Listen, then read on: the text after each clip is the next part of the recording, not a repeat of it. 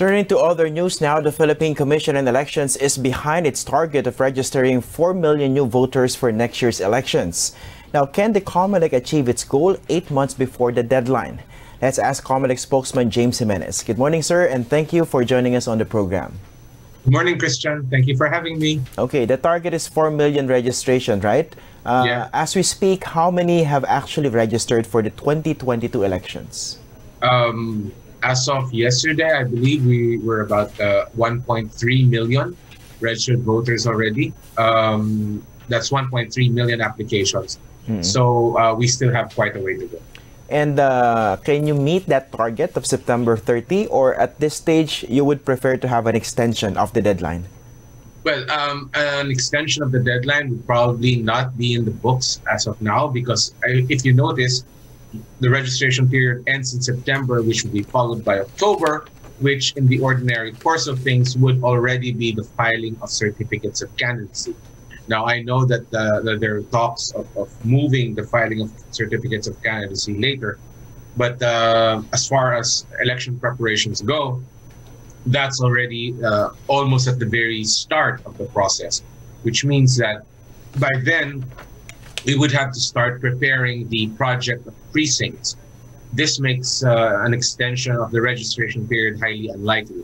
Instead, what we are considering is an extension of the registration hours on every on uh, every registration day, as well as uh, an extension of uh, what amounts to right now a a four-day work week. As you know, registration today happens only from Monday to Thursday, and so the COMELEC is looking towards making that Monday to Friday, or perhaps even adding a weekend uh, registration. This will help uh, reach out to people who probably might not be able to register because of uh, you know work uh, obligations and uh, might have uh, more time available on And how many hours are you looking into in terms of extension? on a daily basis, we might extend by about three hours. So uh, we hope that that will be enough, um, coupled with perhaps an increase in the number of satellite registrations nationwide. The thing with satellite registrations, however, is that while we are already doing that outside of the major urban centers, we're still having a little trouble getting satellite registrations going in NCR, particularly because of the stringent requirement. One of the things that that uh, that that we, we require in order for satellite registration to to happen is to have zero cases uh, of COVID in the area within the last 14 days prior to the actual satellite registration event. So as you can see, this is a very very high standard. So um, if we can relax that somewhat, maybe uh, without, of course, sacrificing the safety of the public, then that would be a great uh, help to us. Has the COMELEC actually communicated, for instance, with the LGUs, with the IATF, uh, to talk about this possible relaxation of those uh, of those policies? Well, the coordination with the IATF is, is constant, uh, and and we we try to to be responsive to the flow and of of, of uh, COVID response. But uh, so far, uh, we're sticking to the to that standard. Again, we already have satellite registrations happening outside of NCR, but uh, doing it in in the major urban centers that remains to be an aspirational goal for us. Okay. Now we know that uh, mm, it might it's possible that by next year the pandemic is over. Again, it's possible, right? But let's talk about preparations by the COMELEC in case it doesn't happen. Let's say that uh, even next year uh, the pandemic would still be here, and then what are the preparations or that you are uh, doing now and the options you're looking into in terms of campaigning uh, during a pandemic, during a lockdown? Well, as far as the COMELEC is concerned, the pandemic won't be over for quite a while. I mean, uh, in, in all practical terms, it doesn't really matter if you have some vaccines floating around. It's never going to be, I mean, at least not not in time for May 2022. It's not going to be enough, or not enough people are going to be uh, inoculated by 2022 to make the vaccine a non issue. So, as far as the COMELEC is concerned, we're proceeding with, with election preparations as though the the, vac- the pandemic will be in full force and effect. So, having said that, uh, what you can expect is that there will be a change in the campaigning landscape. Certainly, um, this uh, the news recently of, of people uh, going out uh, going out to the streets and distributing uh, campaign materials uh, because yes, obviously that's premature campaigning, but uh, there's really nothing we can do about it now, considering the state of the law. But activities like that, that that that giving out of, of uh, materials or going out and talking to people face to face for campaign purposes, that's going to change. Door to door campaigns might be prohibited. I'm not very certain exactly uh, at this moment whether or not such a prohibition will actually be be uh, declared. But of course, we will be coordinating with the IATF. But certainly, there will be changes in, in the way people do things. Again, uh, in a perfect world, yes, that sort of uh, face-to-face campaigning would be strictly regulated, maybe even uh, prohibited.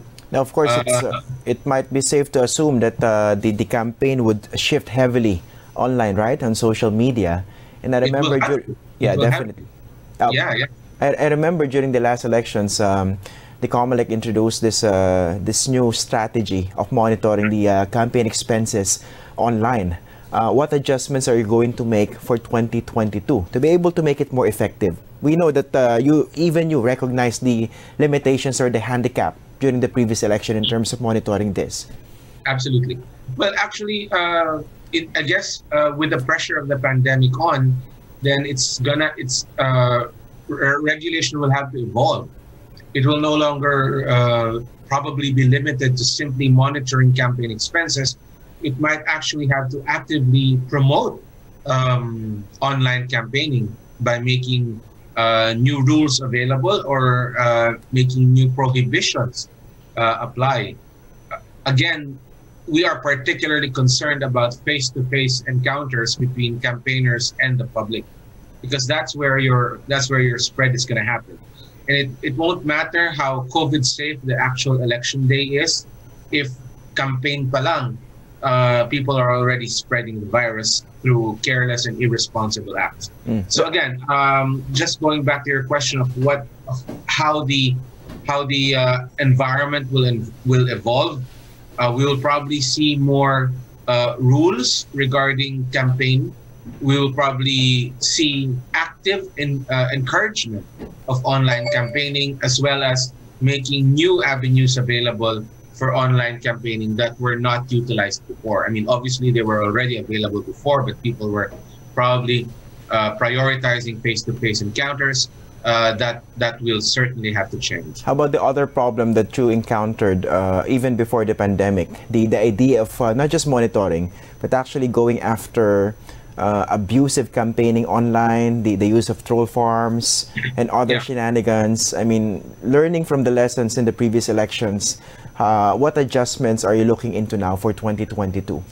Well, we are in discussions with certain groups that have been pushing both con- uh, for advertising firms uh, intended to impact on uh, misleading information and, and uh, false information being propagated online. We intend to look very closely at such at such initiatives and perhaps even adopt some of them uh, certainly we will be reaching out to the social media platforms to find more proactive means of controlling the spread of false information and perhaps uh, hopefully uh, bringing accountability to the table as well for the people who propagate uh, false information. Okay, now of course, uh, how about the idea of um, uh, extending the number of minutes that a candidate would be allowed to uh, promote himself, let's say on TV, on radio, or even in newspapers, given the situation during the pandemic. Of course, this would but, require uh, amending the, the law, right? It will require amending the law, yes, and that conversation is ongoing. Um, I can't say much about it yet, but uh, that's certainly a conversation that, that uh, people are pushing. Uh, for the most part, people feel that that with uh, with the pandemic uh, in full force, Uh, we are going to need more campaign minutes online. But again, like I said, that will uh, require legislation. But uh, does the COMELEC have uh, a position on this already? Are you open to this? Um, we haven't yet seen an actual proposal for that, and it'll be hard to uh, to expound on a position on a position that doesn't exist yet. However, again, like I said, preliminary conversations are happening right now. Okay, now let's go to the other big issue, the uh, Bangsamoro Autonomous Region in Muslim Mindanao. There's a scheduled, the first ever uh, regional elections for the new BARM uh, in 2022. But there are efforts to actually uh, cancel that uh, those elections in 2022 for the region. Uh, reminder to the public, for the region, not for the rest of the country and extend the uh, Bangsamoro Transition Authority until 2025. But so That's far, how is the preparation going given the uh, this the situation now?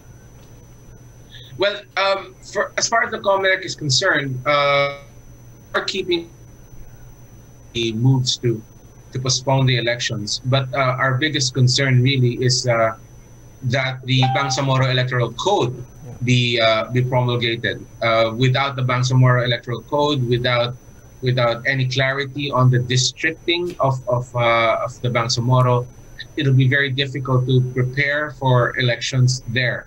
So that's what we're focusing on. Our Bangsamoro Electoral Office is coordinating closely with uh, the authority, and, and hopefully we can have a at least a general idea of what the code of the what the Bangsamoro Electoral Code will be like, and and what the districting scheme will be like. So uh, without those, it's really difficult to form a position here.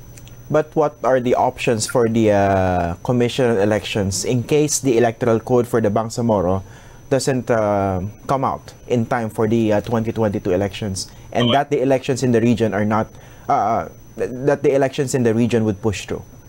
Well, uh, there are there are provisions in, in the law that that that allow for uh, the suppletory application of existing election laws. So, so we can we can we can have recourse to that. However, uh, ultimately, it would be the most ideal situation if we could have a Bangsamoro electoral code in place. But certainly, uh, it will have unique. The the Bangsamoro elections will have unique characteristics that might not be uh, hundred percent matching with uh, election practices in other parts of the country considering simply that there will be a different form of government there. But, but precisely, how is the COMELEC preparing for that? I suppose you are preparing as though the elections would proceed, right, in 2022 there in the region. But well, we know that that is quite uh, unique because it's a parliamentary election. Yes, it is. Yes, it is. So uh, again, the, the key point there is preparing the districting, the districting scheme, which we do not have at the moment. So right now, all of our preparations are, are mainly for the uh, for the speculative, almost uh, legal framework that will be used. Uh, we are studying other election systems. We are studying how parliamentary elections are done in other in other countries uh, as a form of preparation for when the Bangsamoro Electoral Code arrives. But until then, there's really very little we can do aside from preparing the mechanical aspects of the election, such as, for instance, uh, preparing the supplies for the print for the ballot printing, uh, and and uh, preparing to to deploy uh, the counting system that we will be using there. Okay. So again, at this stage, there's very little to say that that uh, we were actually preparing for this, except that we are ready. Um, but a lot a lot hangs in the balance because of these two because of these two lacks. Huh? We lack the Bangsamoro Electoral Code and the district scheme. Okay, how about the other issue? We know that there are also efforts to amend the Philippine Constitution, at least at the House of Representatives. And we, when we spoke with some of the uh, proponents of that uh, of that uh, proposal, uh, they were talking about, let's say, uh, scheduling the plebiscite uh, during the 2022 May 2022 elections. There, there even a proposal that the plebiscite should come months before the May elections. I mean, if you talk about the realities given the uh, the responsibilities of the COMELEC at this point, uh, what do you think of the timing of that? Would you would you still be able to accommodate that? I mean, in practical terms. But I think that's their opinion. I mean, and and of course you expect them to to give the timetable that will suit their timetable, right? I mean, uh, But but in terms of, of uh, preparing the elections themselves, uh, as far as the COMELEC is concerned, we're not going to move on that unless there's an actual proposal on the table for charter change. And then if there is no actual proposal for charter change on the table, then it would be moot, I think, uh, to be, you know, to be to be bending ourselves into pretzels to accommodate a timetable that doesn't exist. So um, until until an actual timetable is presented, it'll be very difficult to actually uh, say that we're going to do this or do that uh, with with the with the preparations. Because right now we really do have our hands full preparing for the elections as they are, mm. without without the added burden of considering a, a plebiscite. Because really, with the plebiscite, you you you're not just talking about about plebiscite day. You're also talking about the information campaign period before the plebiscite day uh, you're talking about getting people uh, informed about about the proposals being voted on. Um, right now, the COMELEC is really busy uh, preparing for the plebiscite in Palawan, and uh, we're busy with the Palawan plebiscite as a mapping exercise to help us uh, define uh, the procedures that will be followed for the 2022 elections, and and talking about talking about charter change at this stage uh, especially with its with it being so speculative uh, for now, uh, might not be the best uh, thing to do. Okay. Um, mm. In any case, we have we have assurances that the elections will continue as planned.